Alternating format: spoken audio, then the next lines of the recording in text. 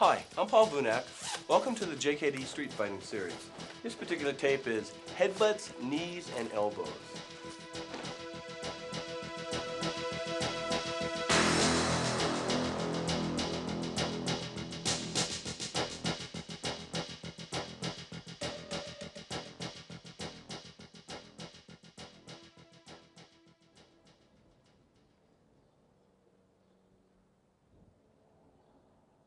Hi, I'm Paul Vunak. Welcome to the JKD Street Fighting Series. This particular tape is on headbutts, knees, and elbows. Why do we allocate a whole tape on three tools? Why not locks, flips, and throws? Well, this is the JKD Street Fighting Series, and for street fights, headbutts, knees, and elbows seem to work quite well.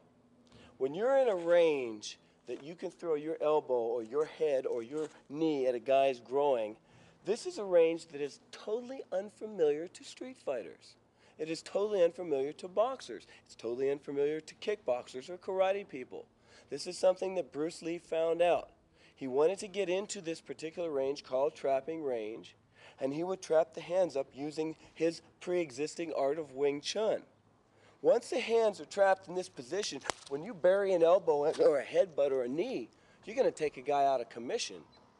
So, what Bruce did was he incorporated a little bit of Thai boxing, a little bit of Wing Chun's economy of motion, a little bit of Kali's rhythm, and the way he would throw the headbutts, the knees, and the elbows is totally unfamiliar with anyone else.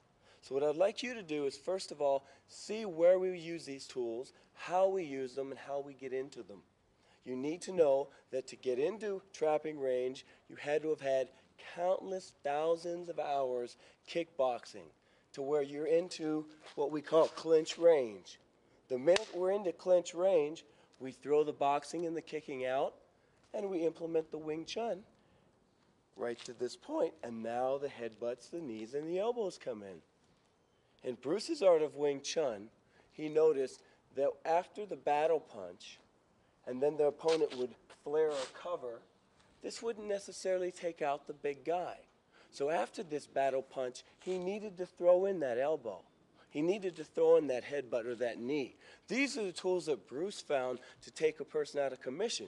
He can't simply continue with the battle punch against a six foot eight Samoan. So these tools Bruce honed and developed. And you need to know they're done out of a range called trapping range. Okay, Stu, let me borrow you.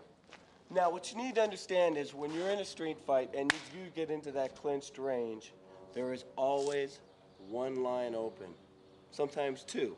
So we have three lines of attack on the body. Each line represents one of our tools. A headbutt is the high line, the elbows are the middle line or the punches, and the knees are the low line.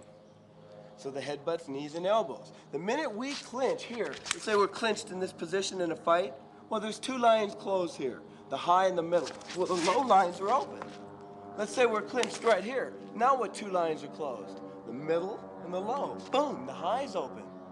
If all three lines are closed, I don't know what they're doing, but they're not fighting. So the point is, and immediately when you're in a street fight, immediately when you get into trapping range, what you're really learning is to find the line that's open and to hit it. So what we're gonna do now is I'm gonna take you through some different trapping sequences that get you right into the headbutt. Once again, reiterating that the way we headbutt knee and elbow is to first trap the hands up. The Wing Chun precedes our headbutts, knees, and elbows, as opposed to Thai boxers, which they do it out here. So when they come in, they get clinched. And you don't get that boom, you don't get that clean shot because the guy's not standing here. So when you combine the occupying center line theory of Wing Chun, trapping the hands up, and then throwing Wing Chun out and putting in this, oh, you've got a different animal altogether. So let's play with that concept. Now, before we go into our actual traps that precede our headbutts, our knees, and our elbows, I want to go through the mechanics with you. The mechanics of a headbutt, or an elbow, or a knee are very similar to the mechanics of a boxing punch. If you take a guy that just steps in the gym for the first time, he's going to throw a jab and a cross and a hook. And after about five years of doing it well, you're going to see the whole body going behind everything. And that makes all the difference in the world. If you see a guy headbutt like that, that to me is like a guy throwing a punch like that. I have never seen anybody headbutt the right way. There is a way, there's a mechanic that you headbutt. If you don't do it that way, all you're going to do is piss this guy off. And where do you headbutt him? Well, first of all, people say this is the thickest part of the skull. I don't care, it hurts more. Okay? Up here is where you headbutt somebody. The top of your head to their face. A headbutt is not like two elephant seals bucking heads together.